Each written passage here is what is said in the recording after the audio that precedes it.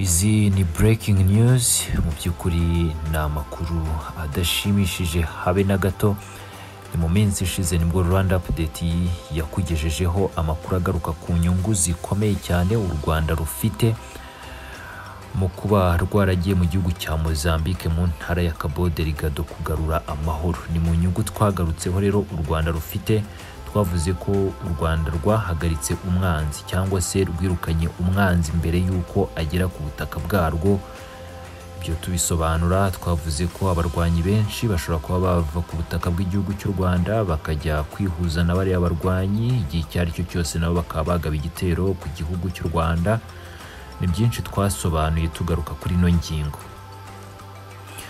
Ibi rero ntabwo bitinze ni byo bibaye mu gihugu cy'abaturanyi cya tanzania. Ngira ngo murabizi ko mu minsi yashize iki gihugu cyohereje ingabo binyuze mu muryango wa sadeke na zo zagiye kugarura amahoro mu ntara ya cabo delgado.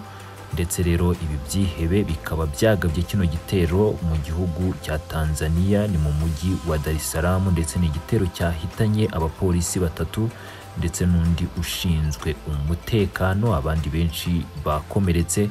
Aho rero bagaragazaga ko batishimiye kuba igihugu cya tanzania cyaragiye kugarura amahoro nk'uko ibi byose byanagarutsweho n'umuyobozi wa polisi hariya mu gihugu cya tanzania simon siro. Tugiye kuba rero tugaruka kuri ino nkuru mu by'ukuri yababaje benshi ndetse amashusho atandukanye yakomeje gukwirakwizwa ku mbuga nkoranyambaga.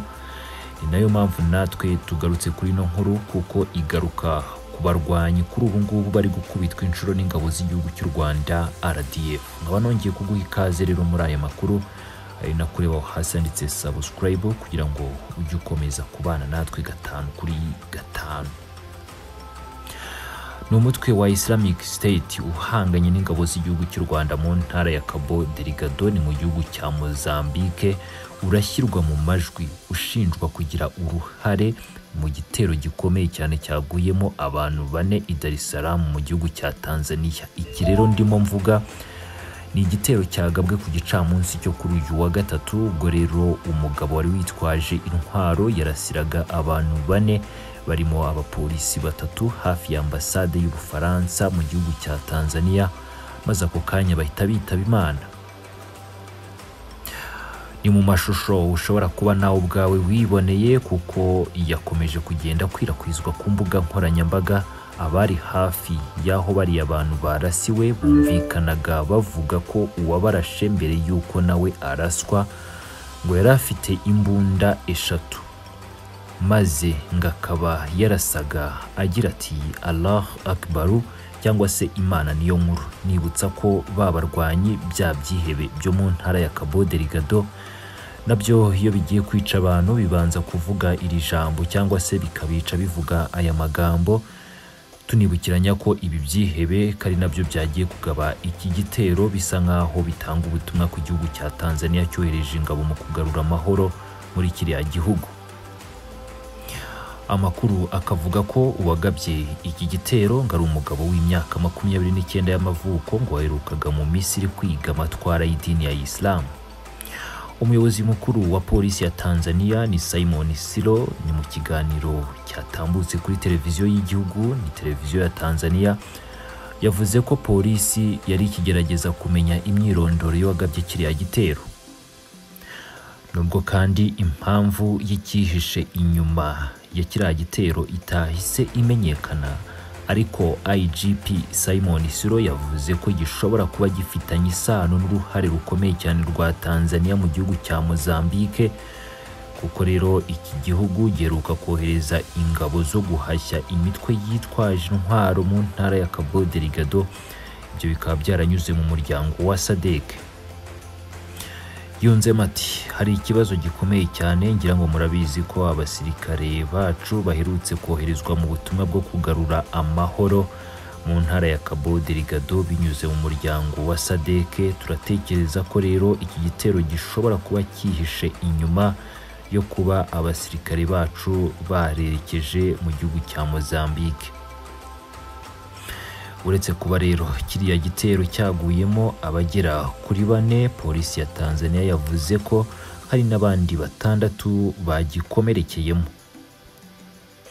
Perezida wa tanzania ni samia suluhu hassani abinyujije ku rukuta rwe rwa twitter yavuze ko uwagabye kiriya gitero yishwe ndetse ko kuri ubu ngubu ituze ryongeye kugaruka mu baturage. Perezida samia yanaboneyeho kwihanganisha polisi ya tanzania cyo kimwe n'imiryango y'abapolisi batatu bishwe ndetse n'uw'umukozi wa kampani icunga umutekano ya sga nawe waguye muri kiriya gitero cyagabwe mu gace kitwa salenda. Ngayo nguko rero banyarwanda ngira ngo wa wundi ufitiye impuhwe ibi byihebe cyangwa se wa wundi utishimiye ko umutekano ndetse n'amahoro byongera kugaruka ndetse iterabwoba rigahagarikwa ku isi yose iri ngiri ni isomo ari nako kandi dukomeza kwihanganisha imiryango y'ababuze ababo ariko kandi dukomeza mu by'ukuri gushishikariza abaturarwanda ndetse n'isi yose mu by'ukuri guhangana n'iterabwoba aho riva rikagera kuko nta cyiza rigira nk'uko namwe mubyiyumviye. Mukomeze mugire ibihe byiza. Reka dukomereze. No kuri aya makuru agaruka ku witwa paul rusesabagina aho noneho umuhungu we yariye karungu akaba yumvikanye mu bitangazamakuru avuga amagambo akomeye. Umuryango w'umunyapolitike paul rusesabagina n'umwe mu banyamategeko bamwunganira uherutse kwirukanwa ku butaka bw'u rwanda bagiranye ikiganiro n'itangazamakuru aho bamaganye icyemezo cyo kwirukana umubirigi vincent lurke mu rwanda. Urugaga rw'abavoka mu rwanda rwo rumushinja kugerageza gukorera umwuga we mu rwanda atabifitiye uburenganzira. Mu kiganiro na mugenzi wacu tim ishimwe umuhungu wa paul rusesabagina roger rusesabagina aratubwira impamvu bakoresheje iki kiganiro. Twatangiye dosiya amavuka yacu inasobanura impamvu bamwirukanye mu rwanda. Arisobanura avuga ati mu rwanda bamwirukanye kuko bavuze ko yaje yabeshye muri viza agera mu gihugu asobanura ko we yahageze avuga impamvu zimuzanye kandi si ubu n'ubwa mbere n'ubwa mbere ajyayo nizo mpamvu ntizari zimwe n'uko yari azi kureba umukiriya we bari yareseraga kubona nyine robatoniye yamuha uburenganzira bwo kujya kureba umukiriya we. Noneho asaba n'ukuntu bamufashe bamwetereje amasaha atandatu barangije bamwohereza mu bubirigi natwe noneho dusobanura nyine disappointment yacu kuba ejo bavukanye baramwirukanye kandi kuba urubanza igihe bagomba kurusomera itariki barayihinduye bagashyira inyumaho ukwezi nta mpamvu noneho tuvugana n'impungenge dufite ku butegetsi bw'ububirigi budakora akazi kabwo ko bagombye kuvuganira umuturage wabo ku buryo burenze ubwo bari gukora ubu ngubu ko bagenda gahoro cyane na byo bikaba bidasobanutse umwavoka wanyu ubwo aherutse kuvugana n'ijwi rya amerika yari yavuze ko bamwirukanye kuko adashobora kuvuga ikinyarwanda. None hano wowe uri kumbwira ko bamwirukanye kubera ikibazo cya viza ibyo bya viza no kuba adashobora kuvuga ikinyarwanda urabihuza gute? Nuko ibyo bya viza ni uko bo bavuze ko yaje afite viza y'umuturiste uje gutembera ariko bo bizasobanura ko iyo viza nta n'umuntu ndumva wundi wabona viza y'akazi ariko niyo viza bamushyiriyemo ariko kuba yaravuze impamvu zimuzanye avuga ati igihe nitwa gasaruke ndi umwavoka wunganira paul rusesabagina hari urubanza ruri mu bubirigi abanyarwanda barutangije tugomba kurukomeza. No kugira ngo urubanza rukomeze ni uko bagomba kubona umukiriya we. Ibyo ntabivuze kuri aeroport kuri imigirasiyo bavuga bati oke ngiyi viza rwose ugenda uzabwa na batoniye ikurikire inzira zose zinyuranye zinyuze mu buryo bw'amategeko ibintu byose bizagenda neza. Noneho bagasobanura ko natwe niko dukeka ko impamvu bashobora kuba baramwirukanye mu gihugu ari ukubera ko we yagiye ndetse twakoze press conference nawe ajyamo kandi abanyarwanda bisa nk'ibarakaje urumva twari muri press conference yaba ari mu bugi cyangwa ari ni conference kuri zoom ko yavuga n'abanyamakuru yaba ari mu rwanda yaba ari mu bubirigi byose ni kimwe n'undi uburenganzira bwo kuvuga kuvuga si akazi kandi akazi ke n'ubundi no kuvugira umukiriya nta kintu nta tegeko yishe mu by'ukuri. Kandi nabo muri process verbal bamuhaye ntabwo bigeze banasobanura n'itegeko nabo baza process verbal batanayimuhaye ahubwo baramubwiye gutya ngo bazabimwohereza muri posta uravuga ko nta tegeko yishe kandi mu rwanda hari itegeko ry'uko umwavoka cyangwa umunyamategeko agomba kuburanira umukiriya we ari uko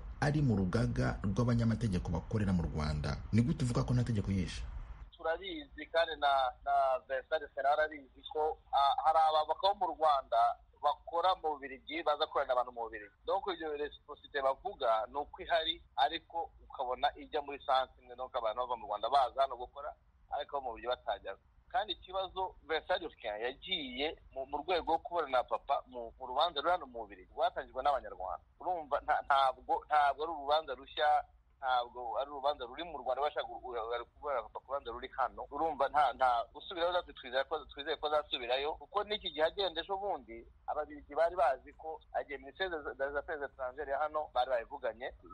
Ambasade y'umubirigi yari ibizi yagezeyo umunsi agezeyo bukeye ajya kuri ambasade ku bibazo bya covid ambasade ntishobora kumwakira kuri aeroport i kigali. No nta nta surprise yari irimo kandi nanone nk'uko byabaye mbere ubwa mbere ajyayo batoniye yarabuze aho bakorana na batoniye yagiye yavuye hano yabwiye batoniye we w'umubirigi ko agiye mu rwanda yandikiye batoniye yo mu rwanda batoniye yo mu rwanda azi ko aje kavaruganda agezeyo nk'uko byagenze mbere none kavaruganda yongera arabura numva rero harimo ikibazo tugomba kubanza tugakemura kuko abanyarwanda bagomba kumva ko ntabwo bidushimisha kandi numva na leta bitamushimisha kujya mu rwanda. Igihe baba bataye amafaranga y'izo ngendo zose ntabwo bidushimisha kugira ngo agende yicare ategereze batoniye cyangwa agende abantu bihishe bongeye kugaragara ari uko avuye mu gihugu. Kandi twizeye ko bizashoboka ababiligi bashyiramo eforo noneho akajya mu rwanda abanyarwanda bamaze gusinya ko bazamwakira kubatwa umuntu yaburana. Utekereza ko impamvu ububirigi bugenda bigura intege muri iyi dosiye y'umubyeyi wanyu ari iyihe? Kuko uravuga ko babishyizemo imbaraga nke nk'aho hari ikintu utekereza ko bagombye kuba barakoze. Dutekereza ko njyewe ku bwanjye ku bwanjye ni uko ababiligi basa nk'aho bari betimide niba bakoresheje terime y'igifaransa rw'abanyarwanda bentimida icyo twavuga ko tugomba kumvisha ababiligi ko bagomba kwihagararaho ntabwo ko ntabwo bavuga ngo hari kooperasiyo igenda muri sanse niba abanyarwanda bagira ikibazo ababiligi bagasubiza na rukeneye muri press conference y'umunsi yabisobanura avuga ati abanyarwanda baje kumurega hano muri bibiri na cumi n'icyenda bohereza porokireri wabo baje ba porokireri abainspekteri baza hano mu mubiri ababiligi baza gusa mu rugo i buruseli batwara ibintu byose bashaka gutwara abanyarwanda basabye gutwara. Papa ajya kwitaba urukiko porokireri w'u rwanda yari ahari.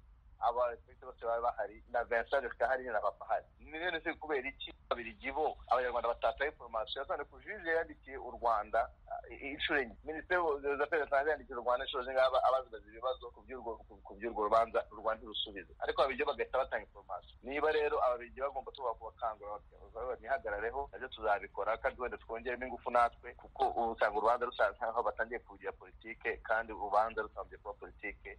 Roger Rusesabagina umuhungu wa Paul Rusesabagina uri mu Bubiligi